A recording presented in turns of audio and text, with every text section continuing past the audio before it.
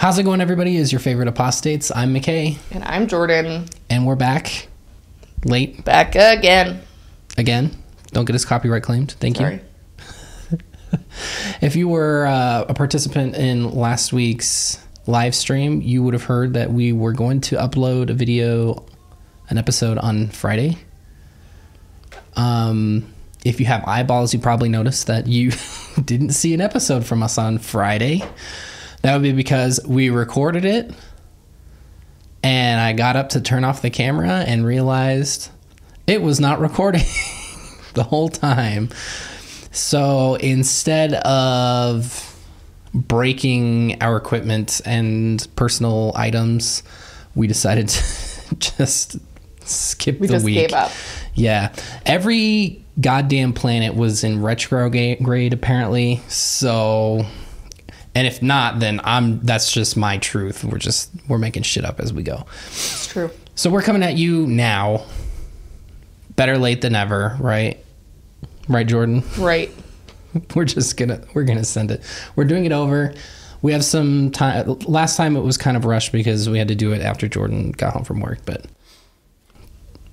today we don't have to wait for Jordan to get home from work because she didn't have work today.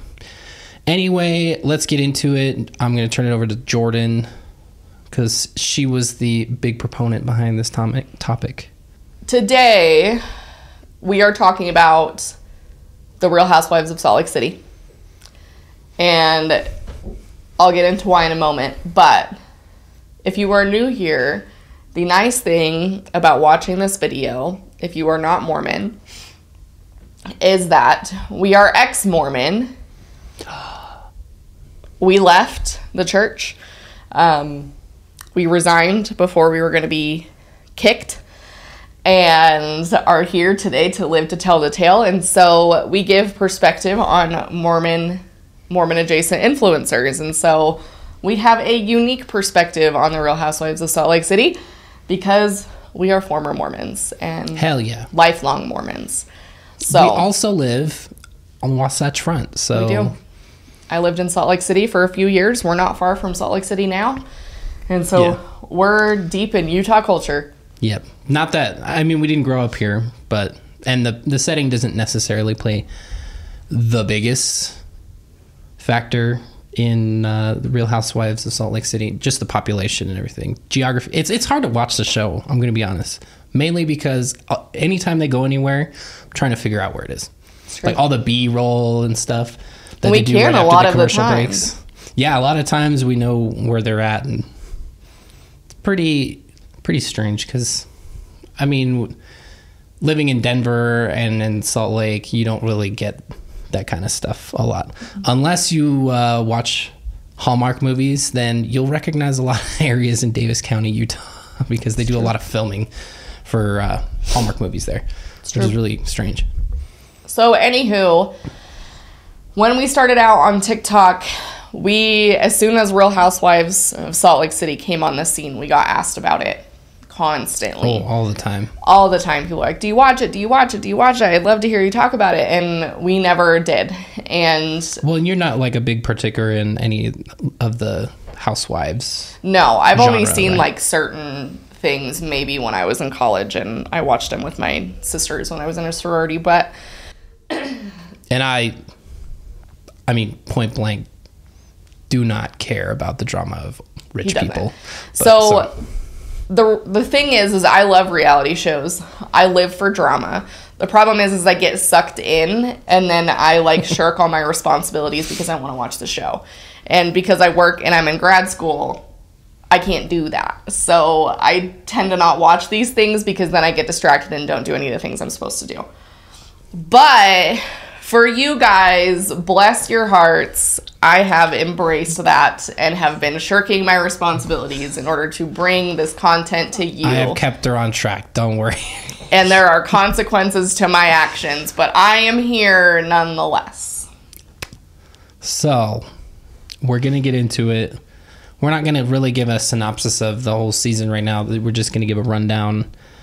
Uh, we've watched almost through season two at this point. Um, but we'll just give a rundown of who these people are and kind of the interesting dynamics that exist within the show before we even start talking about the events and the goings ons of the Real Housewives of Salt Lake City. So, since a lot of you don't watch this, but I assume you're going to find it interesting, I figured we would do an intro on who the players are, a video on season one, a video on season two, maybe two videos for season two because it's long, and then a video going forward for season three.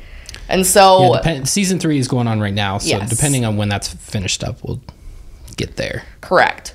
So that's the plan for right now.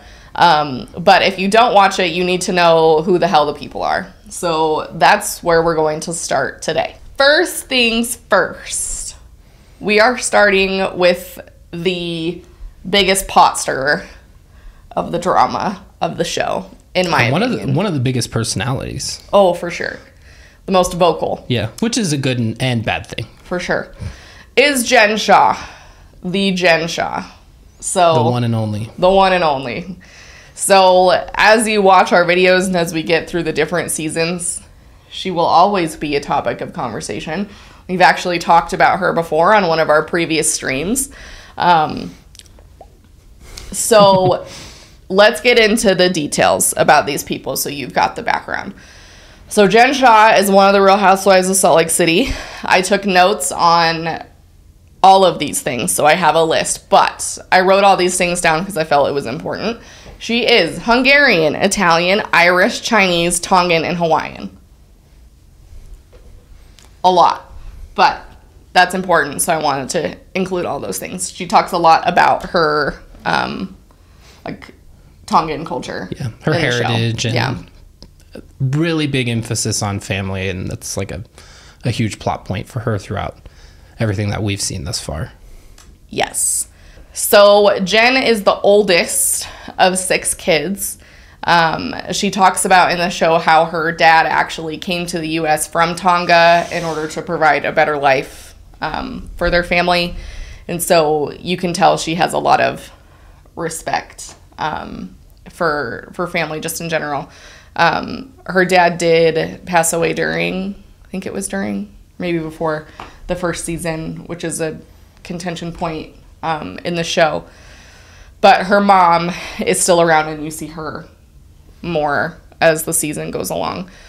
But she um, met her husband, Sharif, in um, college. And they got married in 1994. So Jen grew up a Mormon. Their family was Mormon. And Sharif was not Mormon. So they married, he's um, Muslim. Muslim. I couldn't think of the word. Got too many religions going on in this show. um, Ironically enough, for real. we'll get on with that later, but For real. So they got married. Doesn't sound like religion was like a huge contention point. Um, they just got married. And in 1994, and then five years into their marriage, she was like, you know, Sharif, why don't you convert to Mormonism? Like, it's great, and we have all these things, and we love it, and it's family oriented and Yeah. all this stuff. and beautiful. Why not? And so, five years in, she says that. And he was like, Are you serious? They didn't even let black people join the church until like the 1970s. And I don't think she knew that. At least that's the vibe that came off. Is that me. how he re- referred it? Yes. Just a, a point of clarification. He is referring to the ban on ho- black men holding the priesthood and entering the temple, along with black women not being able to enter the temple since women can't hold a priesthood regardless. So that's what he's referring to. Racism is deeply entrenched within Mormonism. If you've watched some of our videos, you've probably gathered that by now. But there is a lot of deep rooted racism, even within like the church doctrine. It's not Yeah. just a cultural thing, but there very is very much is a cultural role. Um, but there also is a really big uh, population of Tongan, Hawaiian, Asian American, Pacific Islander Yeah. people here in Utah. Um, and then in Tonga specifically that I can think of that is very, very, very predominantly Mormon. Yeah, there were huge missionary efforts in all of the Pacific Islands.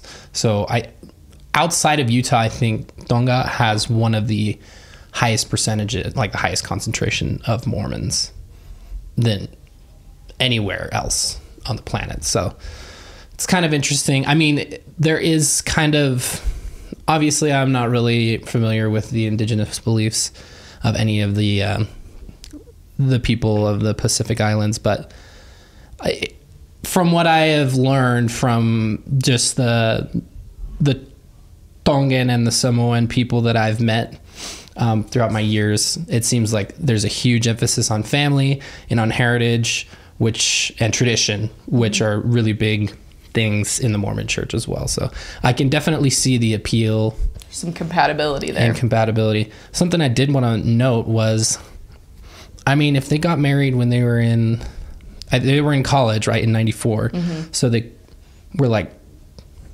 20 to 22 years old, maybe 24 at the oldest. Like, that's basically the amount of time since the priesthood ban was lifted, and Jen didn't even know about it. That was only like 20 years, right? Yeah. That's wild to think that even in the span of 20 years it was just swept down the memory hole Yep. and nobody was talking about it whereas like i mean even 20 years after that i didn't really know about the priesthood ban Yeah. um, until and it definitely wasn't well that's my me being white didn't ever occur to me as being a problem Well, and it just generally wasn't talked about about Yeah. really a lot, like in Definitely the mainstream church more recently. Um, like in recent years, it's been a lot more of a yeah of a thing. I think the only time they would ever talk about the priesthood ban would be applauding Ezra Taft, Taft Benson for lifting it. Other than that, if you that year's topic wasn't the teachings of Ezra Taft Benson, you probably never talked about it. Five years in, she tells him that he's like they wouldn't let black people in the church. And so they have two kids. And so obviously, you know, her kids are half black. And so when she had that conversation with Sharif, she said that that basically started her questioning process. And ultimately, she came to the conclusion that I can't be a part of a religion that doesn't accept, like, my husband, my family, my kids. Um, and so that's kind of her way out of the church. Um, she doesn't ever specifically say if she resigned or anything, but they're definitely not Mormon anymore. And then she converted to Islam. So, and they currently practice, I don't know how much, Yeah. how often, but it is mentioned more in season two. But um, yeah, so Yeah, you almost don't get any of it in season one. not really, no. So, a little bit of background on Sharif, just because I think it's important. Um, he actually played for the University of Utah from 1990 to 1993. Oh, I wonder why you think that's important, Jordan. my alma mater for my undergraduate degree. I'm currently there again for my master's, so I am a little biased. Um, he currently is a coach at the University of Utah. So he's special teams coordinator and cornerbacks coach. He was hired in 2012 by Kyle Whittingham, who was head coach um, of the Utes at the time, and he was the coach while I was there. Anyway. Anyway, Watch out. so he had he played for the Utes when he was in college, had a career-ending neck injury during his senior year, I believe it was. And so he had to quit playing football at that point. And so interestingly, and this isn't really talked much on the show, but interestingly, he went and got his Juris Doctorate and practiced law for 12 years. So that's not really a talking point in the show at all, weird. which is kind of bizarre. Yeah. I don't know. I get the vibe. He's just like a super humble guy. Yeah. Super cool, in my opinion, just from what I've seen Yeah. on the show. very low key, very humble. Um, and so that's kind of Sharif's role. And so he spends a lot of time recruiting. And so he is gone, at least in the first season, he's gone a lot, which has implications for their marriage that kind Yeah. of plays out in season one and two. Um, and so that's Sharif. That's kind of their relationship. They are rich as all get out. I mean, the photos of their home, holy shit. Holy shit. Crazy, The amount of money is just truly unbelievable. Um, crazy, crazy. Just to to prove a point about how I perceive Sharif as being like humble, just really laid back. Jen drives a Porsche Panamera that is like brand new. And Sharif drives like a 2000s Land Cruiser or Sequoia or something, like early 2000s. when I saw that, I was like, I like this guy. So the thing about Jen also is she owns her own like marketing type lead company. Um, she in other interviews, it was either I don't remember which season it was. She talked about kind of being the Wizard of Oz, like working behind the scenes in marketing and connecting people like with leads and things, which plays out not so positively later on. Um, but Yeah. that's what she does, and you don't see a lot of it in the show. They don't really talk much about what she does. Um, she has like eight assistants in the first season, eight assistants who are constantly everywhere, including Stuart, who's her number one assistant. And so she's got a whole team, like a whole team working for her at any given moment. So they call it the Shah Squad. The Shah Squad. And so they are definitely rich, rich. That's for damn sure. And they live up in Park City, which is like, um, if you're familiar with Colorado, it's like the Utah version of Vail. So the very rich, rich area I up think by most all the people ski from the United slopes. States are familiar with Vail. probably. I might just be stupid. Also, I have a hell of a nod back here. Don't look. Go ahead. Anyway, so that's where they live. They have a big old house up there. Next on the list is Heather. Heather Gay. Yes, that is her last name. Heather has my heart and soul. I love her so much. I did not think I would like any of the personalities on this show. but Heather is just she's, She's- genuine. Real. She's Yeah. real. Like you can tell she really stands out as the person who's like more down to earth and normal, if you will. Um, but she's hilarious and I absolutely love her. And I actually have talked to her and she now follows us on Instagram. So Let's go. stay tuned. Um, Yeah, anyway, there might be something there. just, just saying. just saying. Anyway, so they talk about, you know, we should, probably should have said this in the beginning, but I did not know how deeply embedded Mormonism was going to be in the show. I did not know. People had brought it up, but I wasn't sure how much Yeah. it would play a role. And like obviously it takes place in Salt Lake City and you think, "Oh, well of course it's going to have like Mormonism. It's all over Salt Lake City." But man, But it's literally it's literally dropped within like the first 15 seconds of the intro in the very first episode of the show. yeah. Like mormonism is generally at the heart of like a lot of it. Like there's constant b-roll footage of the salt lake city temple which is where we got married all kinds of other temples in utah. Like mormonism is brought up a lot. Oh yeah. so it is a, a really big proponent of the show. So in the introduction to heather in the first episode she starts out by saying that perfection is attainable through mormonism which is a very common attitude Yeah. amongst Mormon women, especially that you have to be put together, that you, you know, everybody puts on a face, you look beautiful all the time, and you have these perfect kids and the perfect husband and the perfect marriage, and everything is just perfect all of the time. Well, it's even kind of like an extension of the core beliefs of Mormonism that you can be an exalted being like they believe God to be. Correct. So it it just goes to show that the it these kinds of beliefs kind of bleed into all aspects of life and per- perfection even goes on to being perfection of appearance and things like that or perfection of what people um, assume to be the beauty standard and things like that. Yeah. And so Heather Gay did all of the things right. Um, she was the perfect Mormon by all standards. She had a lot of siblings. I don't remember how many, but she came from a big Mormon family. Um, she actually grew up in Colorado. So did We we. learned in season two. Yeah. Um, she also went on a mission to France, I believe. Yep, south of France is what she said. And when she when she went on a mission, it was not as common for women to go on missions because she was 21, I believe, when she went. And at that time, in kind of Mormon culture, women went on missions if they weren't married by that point.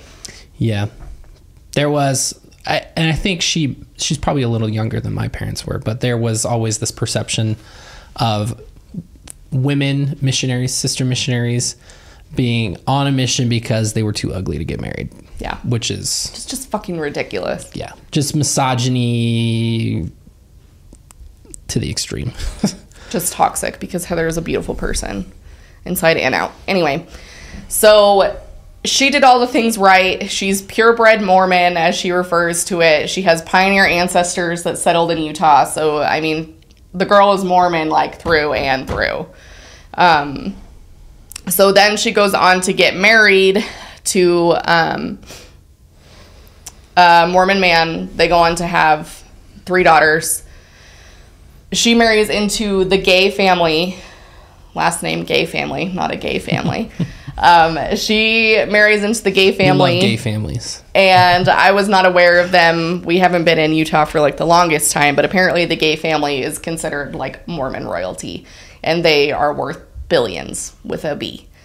And so she married into that family so good on her. She married into she married into some money. They have three kids. She plays by all the rules she does everything right. She goes to church. She you know by all accounts she is the ideal mormon. So then things happen. I don't want to get into too much because of what we're going to talk about in the subsequent subsequent seasons but she ends up getting separated and then divorced. She talks about in the show how divorce is not an option um, in Mormonism. And some people will argue, I'm sure there will be TBMs in the comments that will argue about whether or not that's true. But is divorce happening in the church more often now? Probably. Is it more public now? Also, probably.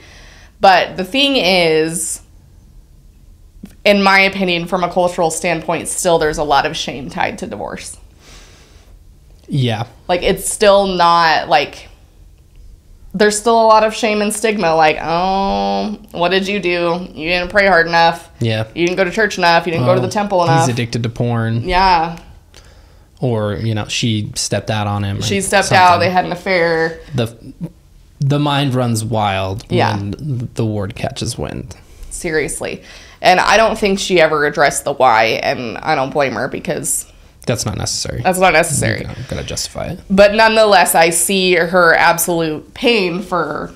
She also talks about how she was the only Mormon woman in her family to get divorced, Yeah. and so We're we're not even talking. She mentioned that it wasn't just like living family, like in generations of family. She was the only one. So you could tell she felt really, really heavy about getting Yeah. divorced, and you can tell she felt really guilty, um, especially towards her her daughters about it. Her daughters are all teenagers now, um, at least, and so they're all older Yeah. and probably have a deeper understanding. But as far as by profession, I was really kind of it was nice to see in the show like because all the other personalities in the show are rich as hell and have like these insane expensive houses. And Heather's house is like it's still really nice, like don't get me wrong, but it's very modest compared to the other women on the show. And so it was really encouraging to see that because she gives like that humble, I don't need to live in like an 18 bedroom house kind of vibe. You know, and so I appreciated that.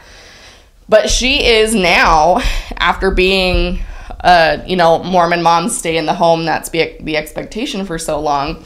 She is now a super successful businesswoman. Um, Hell yeah. Hell yeah. She started Beauty Lab and Laser, um, which is like a, they do all kinds of things. It's like medical spa type where they do like facials and like esthetician type face treatments, Yeah. that kind of stuff. And then they do like cosmetic surgery, um, like Botox, lip fillers, um, you know, But just like injections, not like yeah implants. not like surgery Not or like- yes. anything extensive like that but the thing about utah is and i'll have mckay throw up the statistic because i can never remember it but Salt Lake City is actually like the place with the most amount of plastic surgery. Like it's like second behind LA. I'm pretty We'll have confident. to look. So If it's per capita, I could see it definitely, maybe even rivaling or topping LA. yeah. LA, I would imagine, has the most because of population and size, but So just think about that for a minute.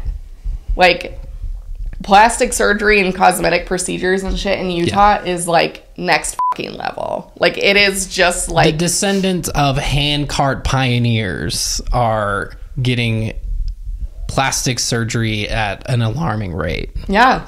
I- and there's nothing wrong with Yeah, it. no, we don't have any shade. The, the word to use it, but No, and there's like if that's what you want to do, full support. Yeah, like I've got therapist lines in my forehead at my age, and that's just not right. So maybe I should go get Botox. Like there isn't anything wrong with it, but I can't think of many more profitable in like industries to throw yourself into in this state because holy shit. And so she talks a lot about how their target market and their demographic is Mormon women. And they have like a really modest looking location that's not like stu- like super like intimidating. intimidating and like luxury and like very high end. It's like and it's not that it's not high end, it's just like it takes the intimidation factor out of it of like I don't know. Do you know what I'm saying? Yeah, no, it's like um, it's it's more palatable for a lot of a lot of people because I don't know uh, when you're looking at that demographic particularly, it runs the gamut. There's a lot of different Mormon people out there. It's not just one little typecast as we see on this. Obviously, there are some boxes that they need to fit into because of the requirements of living the commandments and everything like that. But yeah, it's like uh, going to. We've talked about this with tattoos. It's like going to the tattoo parlor as opposed to going to your esthetician who also does tattoos. Like mm-hmm. it just seems a little more accessible. Yeah. I guess. Yeah. And so, you know, I've got a lot of respect for her because she went from like these really strict Mormon standards about, you know, being at home, not working, and that kind of being imposed on her to going and running this, I think, now multi million dollar business. Yeah. And it's hers. Like she she has a partner, but she's ran it and there's multiple locations now and It's like a crave cookies of like designer procedures. yeah, it's amazing. I love it. I love Not it. Crumbl, f- Crumbl. And so she literally in the show, she's like, it's putting your hand in a river of money. That's getting into like the cosmetic industry with fillers and Botox and Yeah. shit. Like, more power to her. Do it. I love it. So, at the end of kind of her little intro in the first episode, she talks about how all the things that she gravitates to are in alliance with good women, with good Mormon women. So, she talks about, like, you know, drinking and the stuff in the Word of Wisdom and gay people and, like, all the stuff that she's always, like, wanted to do or found herself drawn to are not things that are aligned with good Mormon women.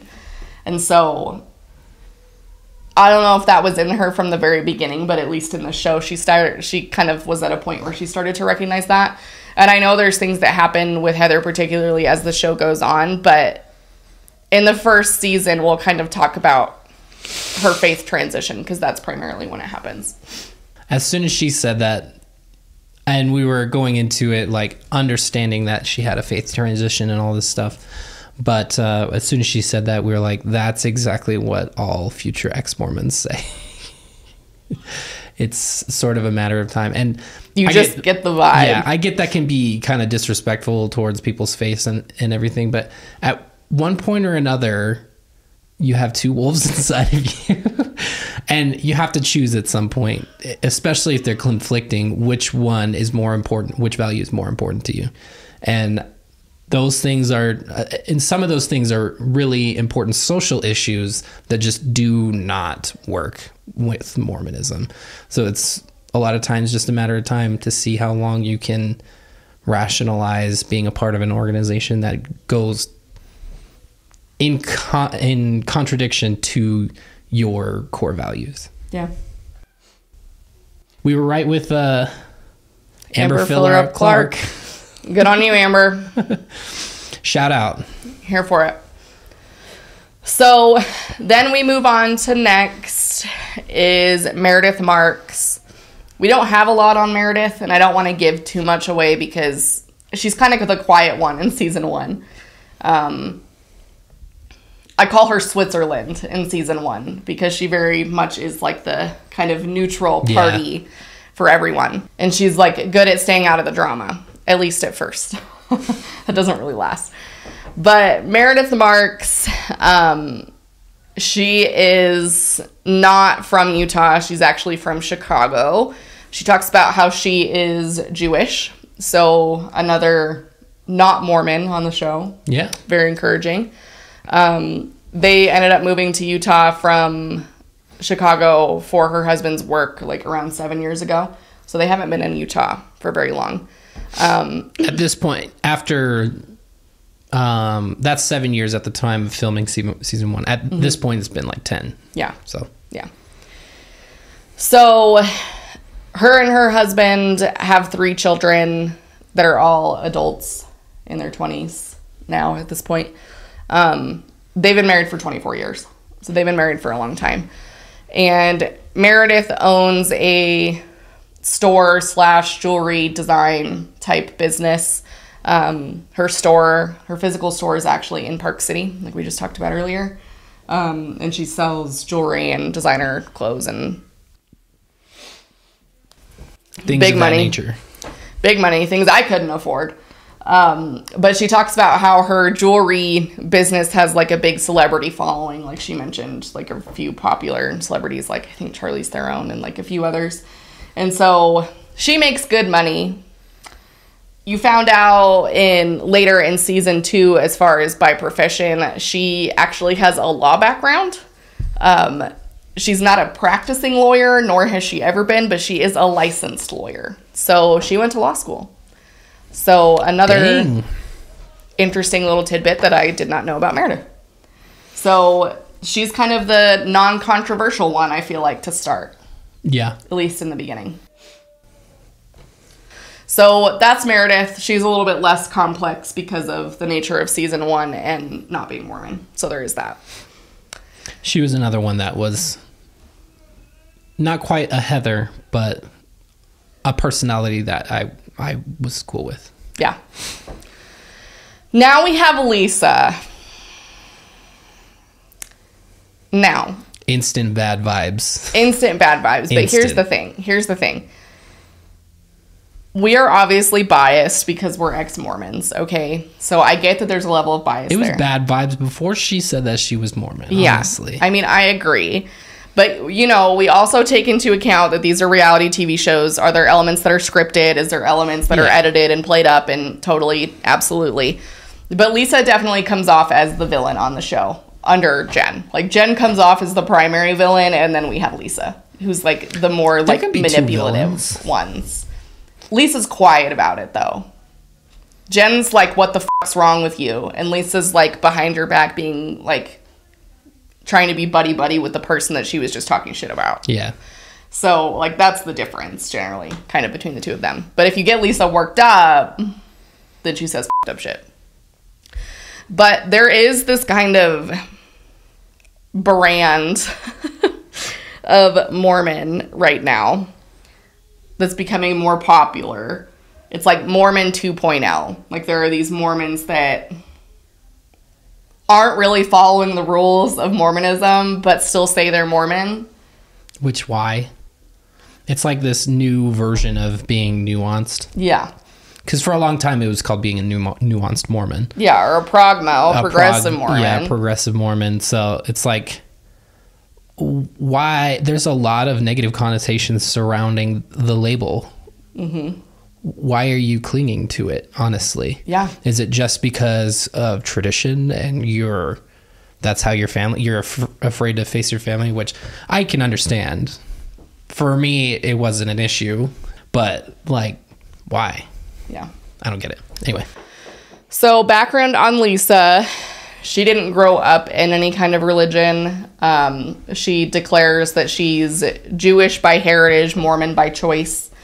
So, her family actually actually ended up being converts to Mormonism. Her mom, I guess, had like a relationship with some kind of higher power with a god, and then the Mormon missionaries knocked on their door one day, and they fell right into it. So More uh, missionaries would call that a she. She said she was praying for them Mm-hmm. when they knocked on her door, and missionaries would consider that to be a golden. Golden. investigator because she instantly was like, "This is what I've been looking for," and just joined. Yep. So she then met her husband through her older sister because they went on a mission together. Um, the way she talks about it in the later season, it sounds like there might have even been some contention between her and her sister about her relationship with her husband. So I don't know if there was like some sketchy shit that went on there. But her husband, Lisa's husband, is like Mid.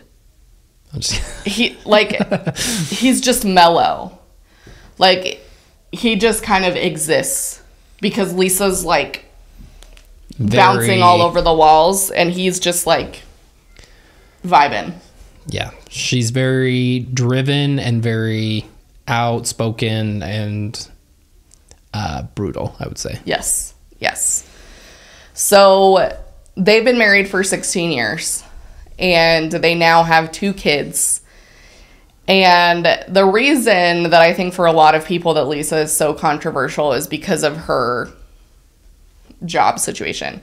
So she owns a luxury marketing company and she does a lot of work at um, with Sundance, the film festival that happens here in Park City. It's kind of like the only celebrity thing that we have here in Salt Lake City that Yeah. puts Utah on the map. Other than being run by Mormons, we've got Sundance, and We've got Sundance. That's That's, it. it. So she's really involved in that. And then she and her husband own multiple liquor brands. So if you Tequila, remember tequila particularly. So if you remember anything about Mormonism, you know that drinking is against the rules. There is no wiggle room around drinking. There is no well you can have, you know, champagne on New Year's. There none of that. Mm-hmm. None. That's whatsoever. absolute. You will get uh, formal discipline from your bishop if you confess to breaking the word of wisdom. So there's no wiggle room on alcohol. So they own multiple liquor brands, and she talks about, I'm sure Mormons care about the fact that I own a tequila brand. And I mean, yeah, it is kind of like Yeah. controversial. I mean, to Who do be you think you are, Brigham Young? You don't have that kind of privilege yet, lady. to be profiting off an industry that Mormons don't participate in. Like it just is kind of controversial. Like, do I personally give a shit? No, not at all. But as a Mormon, I would have. Like, it is Yeah. kind of bizarre. Plus, it's just like you go under the impression initially that they have this liquor, these like multiple liquor brands, and they don't drink. And so it's like, how do you not test your own product? Yeah. But then in later seasons, you realize that they do drink. Both of them, her and her husband, actually drink. So how Mormon is that? Did they ever expressly say? Because I remember at one point Heather saying, "Oh, you don't even taste your own product or whatever," and I don't know if that was as like a kind of a dig at her because she's really Mormon and uptight or something like that, or if that was actually true. I don't know if it was during the first season, but second Because season I don't remember seeing her drinking at all during the first season. Maybe not. So maybe they just quietly started to feel comfortable enough to do it. Maybe. Which more power to you. I don't think anybody should be governing what you're putting in your own body. Like But if we're talking from the Mormon perspective, that's not Mormon behavior. Not at all. no. And for being Mormon and identifying yourself as such, it's not really Mormon. Plus, she doesn't wear garments. Mormon underwear, Yeah. none to be seen. Which is ironic because Lisa is the most Mormon one on the show. Mm-hmm. Hands down. Hands down. And she does not wear garments at all. Her outfits are not compatible with garments in any way, shape, or form. Like, probably 95% of the time when she's not wearing, like, sweats. The other thing about Heather that I wanted to add is she is technically still sealed to her husband. Um, we have a video on the sealing ordinance if you're confused, but it is the Mormon marriage ceremony where you get basically attached to the rest of each other, like to each other for eternity, like well beyond your life here. And if you get divorced civilly, like and you don't cancel your sealing, you're still sealed. So technically, Heather is still sealed to her first husband, as far as I know. And just to reiterate, like canceling a sealing is not something that you normally do because No. it has to go through the top, the first presidency, like of the entire church. So it's really hard to do. So a lot of people Yeah. don't do it. And usually you have to have a reason like you are going to be sealed to another person. Yeah. A new your new spouse that you're you're getting remarried or whatever. But other than that, they don't grant um, dissolutions of sealings for just any reason. I think if you get excommunicated, you're kind of implied uh, your sealing is done. But other than that, there's there's no reason to. Yeah. And so I think because of that, I assume Lisa is because that's how she talked about marriage being eternal and she talked about sealings. Yeah. But that's in season one anyway. But I also included this screenshot of their kids in the car with them with the Crumbl box. Everybody say it together. Fuck Crumbl. So, Lisa. That's the kiss of death right there. So they are also very rich, like rich, rich, rich, rich. Um, I don't know. Throw it in the comments. They own the one that they talk about most is Vida Tequila that mm-hmm. they own. I've never seen this at the liquor store. so if you're familiar, Yeah, so at least it's not noticeable to me. But is this some a product that they have in other places? Let me know if you've ever heard of it. drop it in the comments. Okay, next we have Whitney. God bless her. She's up there with Heather for me. She's cool. She's She- cool. I think she's the youngest of everybody. She is. She's the closest to my age. Yeah. Um, Whitney starts out the show by talking about how she isn't Mormon anymore, but she was. So she comes from basically Mormon pioneer heritage as well. Her fourth great grandfather was Shadrach Roundy, who's a big name in Mormonism because he was a bodyguard to Joseph Smith. He is also related to Shadrach Roundy. That makes Whitney and I cousins. It also makes Whitney and Heather cousins because they also share that ancestor. So it's quite possible that you are related to Heather as well. Is was Heather related to him too? Whitney and her cousins for some reason. But it could be like she has him on her maternal side. I guess it could be. something I like that. You have to ask her. Message her. Say, hey, are you a descendant of Shadrach Roundy too? Because family. In Utah, everybody generally that's Mormon is related in some way. Yeah, uh, polygamy, polygamous communities tend to do that. Yeah.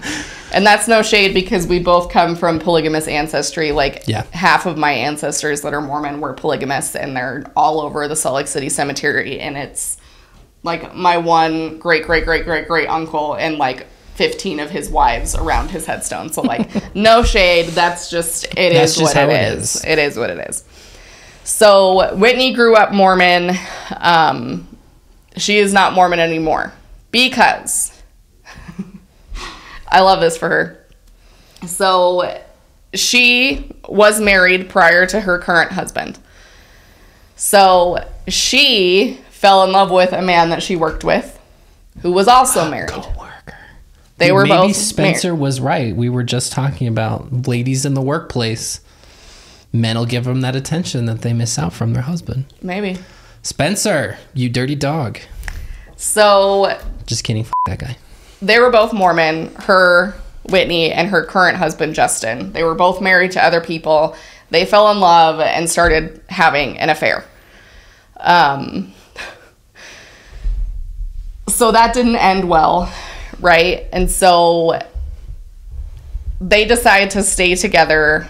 They both split from their partners um, and get divorced and then get married to each other.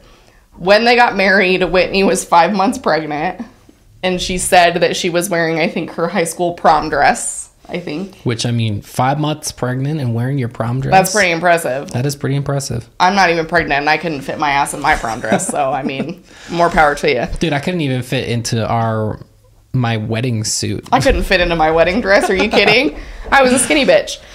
So anyway, that happens. They get married. There's a lot of family controversy around that because you know Mormons clutch pearls at just about anything. So an affair and their age gap. There's an 18 year age gap between Whitney and her husband. No judgment there. I don't give a shit.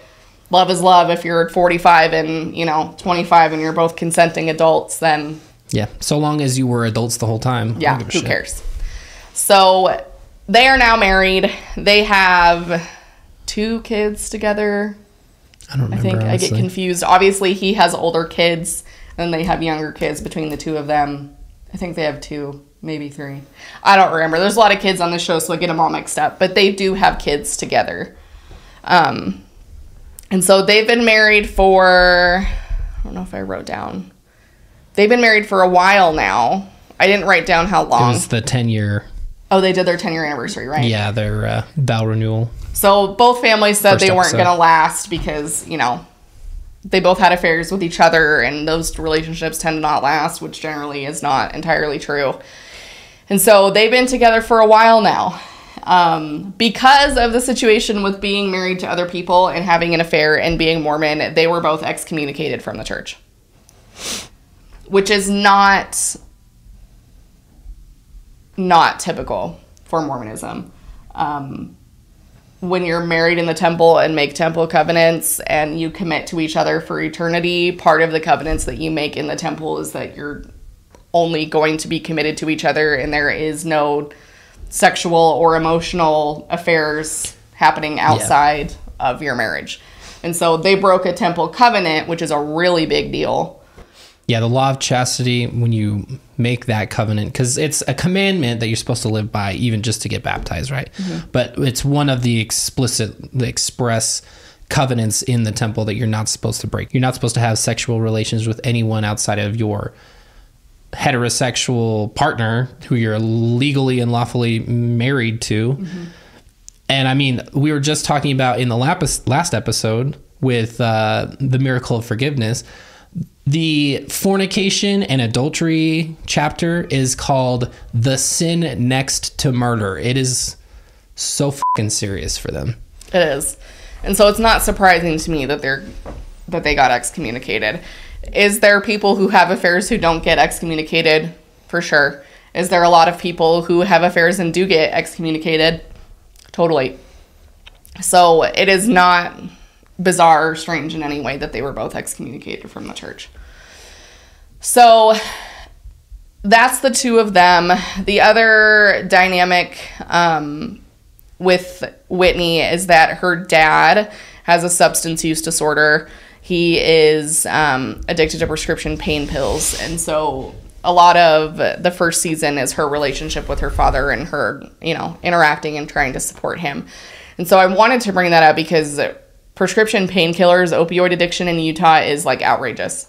Like it is outrageous. Yeah. It is like basically a joke here now that every white suburban Mormon Stanley Cup owning mom pops Xanax like on the regular, pops pills on the regular. Yeah.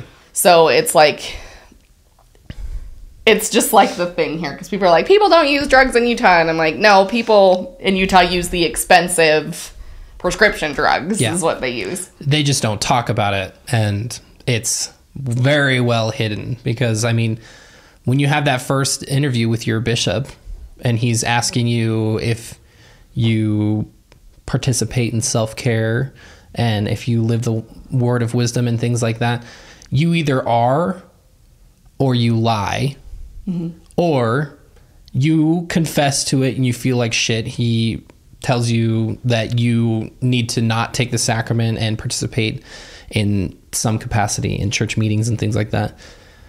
So i mean the options when you aren't living in the the commandments are uh, pretty slim and one seems a lot better than the other in Yeah. a lot of cases so people learn to lie and they hide their addictions and things like that i mean most or both of us know family members and family friends here in utah that struggle with this like severely and have for decades in a lot of cases so it's there it's just hidden Well, very and well. even even in my experience in college, um, like the whole kind of culture around drug use in colleges and at colleges is it's like and I mean I went to a rich people school and I have the debt to prove it. Um, is that it's not like Thank you, Joe Brandon. it's it's rich people drugs. It's not weed in the basement. It's you know you're more expensive to find like pills. It's out of mommy and daddy's pill cabinet. It's and you know that's not something that's generally unique to Utah. But in my experience, a lot of the time it was not like the cheaper, if you will, drugs and more common. It was the like harder to find, more expensive things that you know, frat boys would be pulling out of their mom's pill cabinet. Yeah. So it is just kind of bizarre culturally that there's it's less like gateway drug of weed, which is not. Just shut the f- up. And more like pills, which is just interesting. Yeah.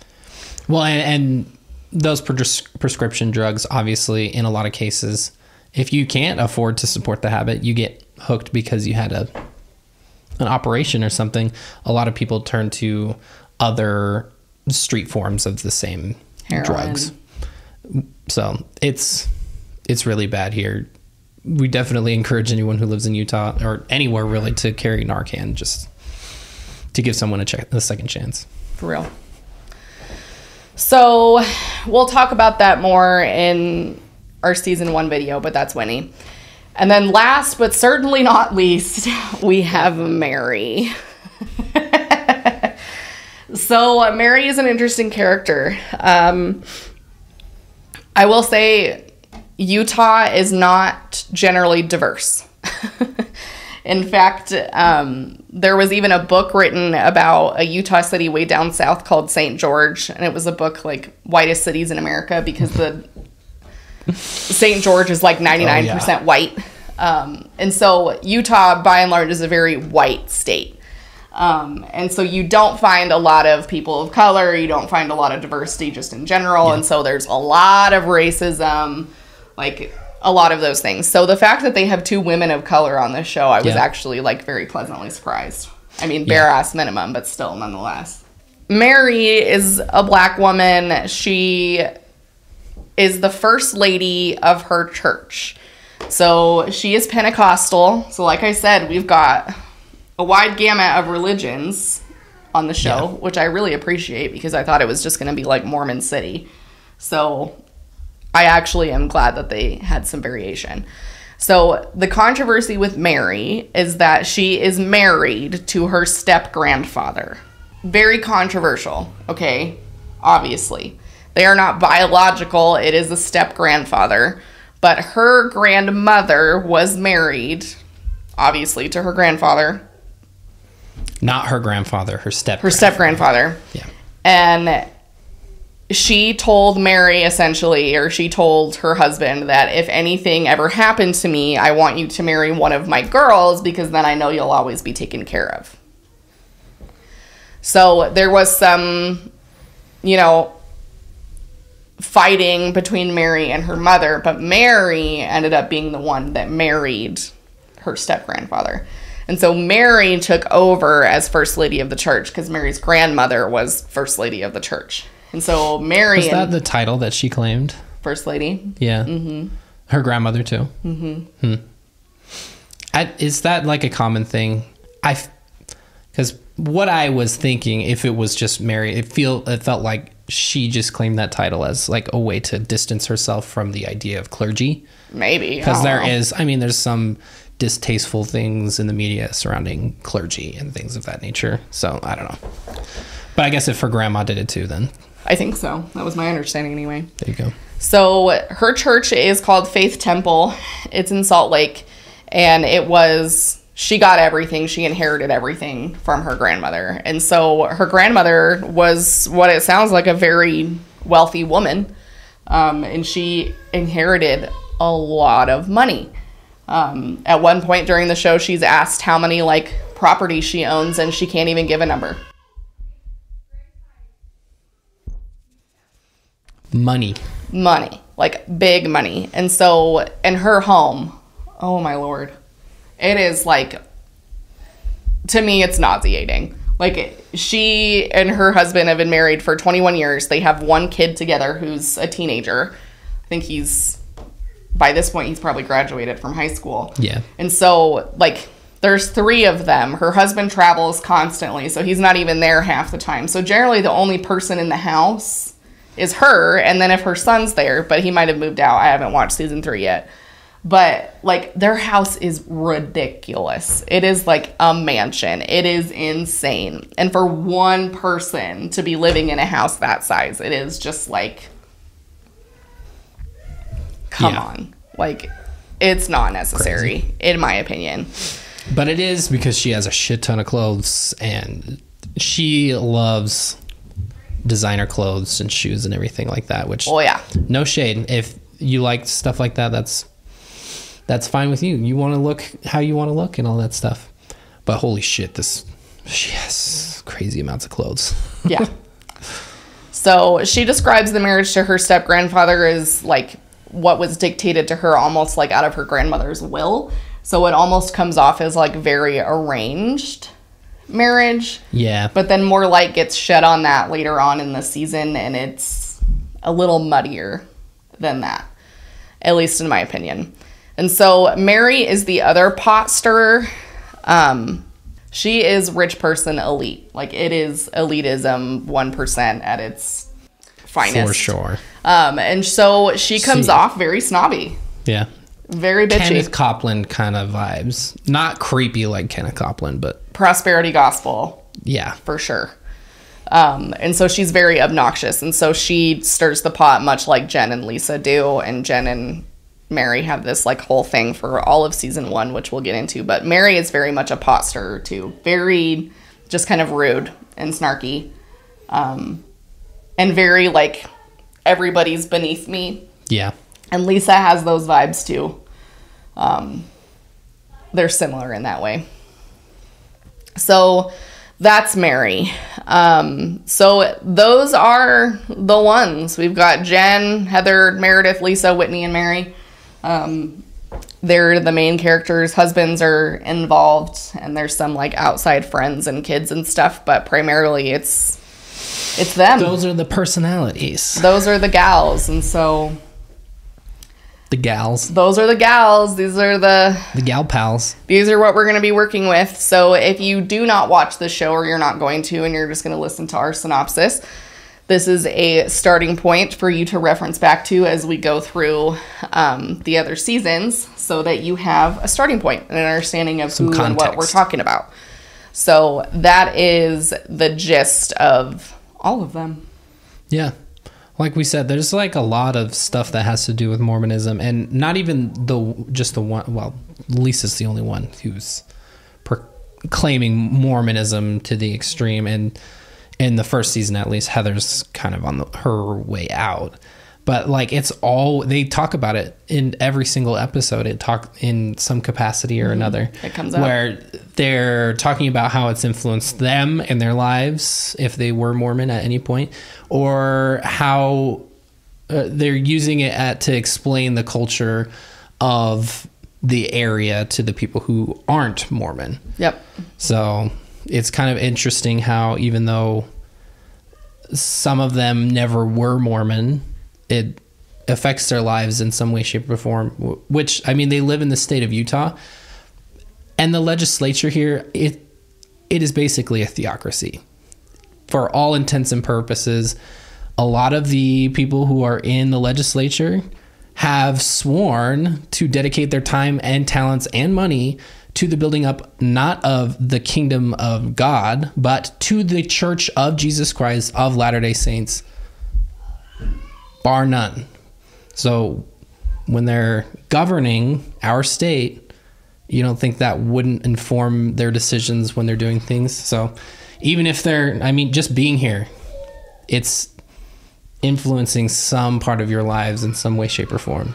So it's a big thing. You should just die.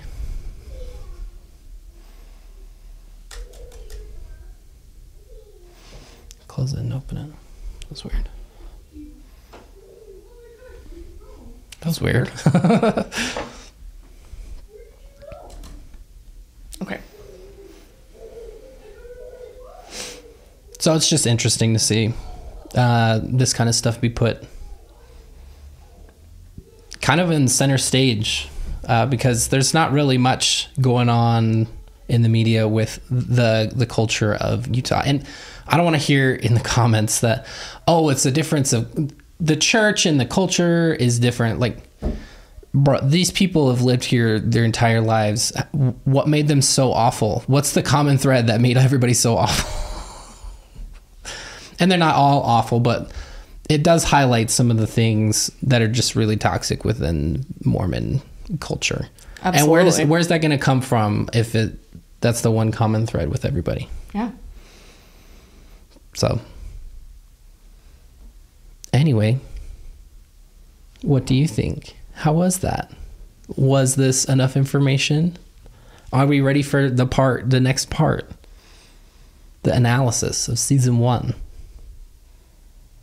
Will I ever find a point to what I'm saying? Likely not. I'm just saying I'm just trying to get to the end in a way that makes sense. So we're going for it. Okay, so that's them. Our next video in this series will be the synopsis of season one and going over season one. Um, season two will probably be split into two episodes just because there's like 24 episodes in the whole season. It's a big boy. It's a big boy, and then we'll get on to season three. So that is the end for today. Look at you. You're floundering now. Now I'm floundering. I don't even know where to go from here. Why am I struggling so much? I don't know. I'm hot, so I'm trying to get It out of this fucking- this sweatshirt.